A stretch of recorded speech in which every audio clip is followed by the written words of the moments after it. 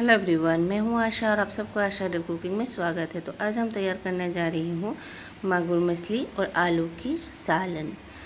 तो चलिए रेसिपी शुरू करती हूँ। बहुत ही आसान है और झटपट बन जाती है। एक ही पॉट में ही तैयार होती है। दिखने में जितना लजीज लग रही है ना, खाने में उससे कई ज़्यादा यमी और टेस्टी बन के तैयार होती है। तो बहुत ही आसानी से और झटपट बनने वाला रेसिपी है। तो चलिए रेसिपी शुरू करती हूँ। तो रेसिपी शुरू करने के लिए यहाँ पर हमने ले लिया। दो चम्मच सरसों और उसके साथ आधा प्याज हमने ले लिया और पाँच छोटी छोटी हरी मिर्च और चार लहसुन के कलियाँ हमने ले लिया। तो यहाँ पर ग्राइंडिंग जार ले लिया। जार में हम ये सरसों डाल देंगे। तो सरसों को हम 30 से 40 सेकंड के लिए गरम कर ले लिया क्योंकि इसके पाउडर बहुत ही अच्छी तरह से बन जाए। तो देखिए किस तरह से पाउडर बन गई।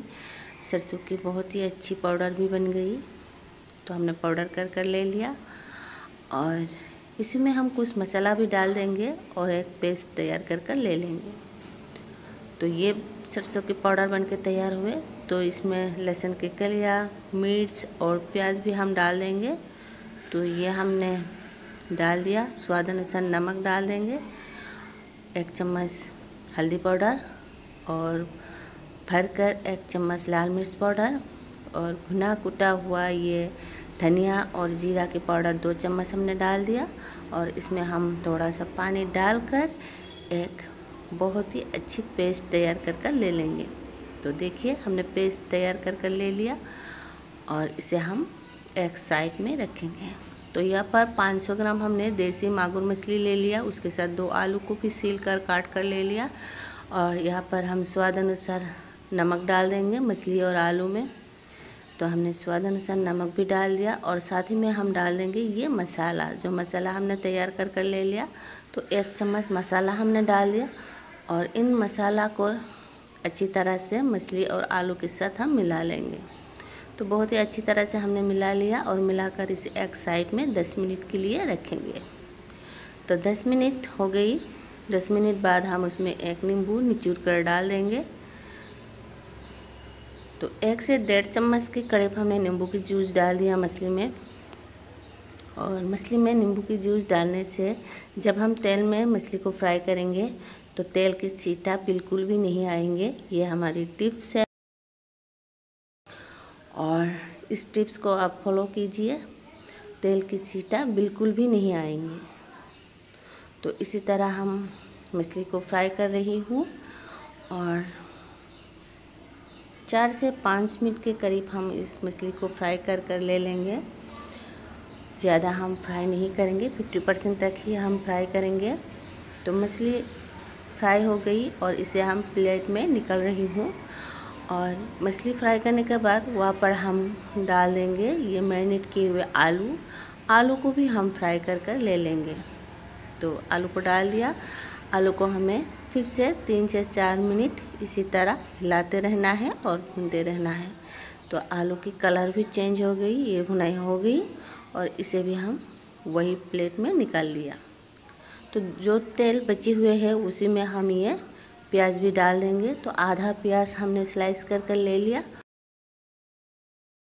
इसी प्याज को गोल्डन ब्राउन होने तक हम भून लेंगे। तो देखिए इसके कलर भी चेंज हो गई या अच्छी तरह से बुनाई हो गई और उसमें जो हमने जो मसाला पीस कर रखी थी, वह मसाला हमने डाल दिया और दो मिनट के करीब हम इसी तरह मीडियम फ्लेम में भुनाई कर ले लेंगे। तो हमने दो मिनट भुनाई कर कर ले लिया और वही ग्राइंडिंग जार में थोड़ा पानी डालकर हमने धोकर फिर से डाल दिया मसाला में। तो मसाला अच्छी तरह से भुनाई हो गई। उसमें हम ये आलू भी डाल रही हूँ, भुने हुए आलू। तो आलू और मसाला को फिर से हम दो मिनट के लिए इसी तरह पका लेंगे। आलू के अंदर तक मसाला जाए। तो दो मिनट हमने ढक कर पका लेंगे। तो पका लिया। तो देखिए तेल भी छोड़ दिया मसाला ने। तो इसे हमने हिला दिया इसी तरह। अब हम इसमें डाल देंगे ये भुने हुए मछली। तो मछली को हम इसी तरह हल्के हाथों से डाल रही हूँ और बहुत ही हल्के हाथों से हमें इसे मिला लेना है मसाला के साथ, आलू के साथ। नहीं तो मछली टूट जाएँगे। तो इसी तरह हमने मिला लिया और पैन पकड़कर इसी तरह हिला भी हम देंगे। और इसे ढककर दो मिनट के करीब हम मीडियम फ्लेम में पका लेंगे। तो देखिए, मसाला तेल छोड़ दिया और इसमें हम उबले हुए गर्म पानी भी डाल रही हूँ। तो हमने पानी डालने के बाद पैन पकड़ कर इसी तरह हिलाकर एक समान कर कर ले लिया और चार से पाँच मिनट के करीब हमने फिर से पका लिया। अब हम इसमें डाल देंगे ये टमाटर। तो टमाटर डालने से इसके फ्लेवर बहुत ही अच्छी आती है क्योंकि आलू की मीठा टमाटर की खटास बहुत ही अच्छे लगती है और इसमें स्वाद अनुसार हमने नमक भी डाल दिया और हल्के हाथों से हमने हिला भी दिया। टमाटर सॉफ्ट होने के लिए जितनी समय लगी उतनी हमने ढक कर पका लिया और उसके बाद उबले हुए गर्म पानी भी हमने डाल दिया। तो आपको जितना ग्रेवी चाहिए उससे थोड़ा ज़्यादा पानी डाल दीजिए। तो 10 से 12 मिनट के लिए मीडियम फ्लेम में हमने पका लिया। तो ये बन के तैयार हुए। अभी हमने गैस की फ्लेम लो कर दिया और देखिए कितना टेस्टी लग रही है, ये बन के भी तैयार हुए। और इसी तरह हम हिला भी रही हूँ और हम कटोरी में निकाल भी लेंगे। तो ये मगुर मछली की रेसिपी, सब्जियों के साथ बनके तैयार हुआ आलू और मगुर मछली की सालन। बहुत ही यमी टेस्टी, लजीज बनके तैयार होती है। तो ज़रूर आप इसे एक बार तैयार कीजिए। तो उम्मीद है हमारी वीडियो आपको पसंद आई। तो प्लीज़ प्लीज़ ज़्यादा से ज़्यादा शेयर कीजिए, लाइक कीजिए और कमेंट कर कर हमें बताइए हमारी वीडियो कैसे बनी। तो अभी तक हमारी चैनल को सब्सक्राइब नहीं किया तो प्लीज़ प्लीज़ सब्सक्राइब भी ज़रूर कीजिए और हमारे चैनल के साथ ही रहिए। और जो भी वर्ड्स हमारे चैनल को सब्सक्राइब किया, उन सबको हम दिल से धन्यवाद करती हूँ। और अभी तक नहीं किया तो प्लीज़ फिर से एक बार कहती हूँ, सब्सक्राइब ज़रूर कीजिए।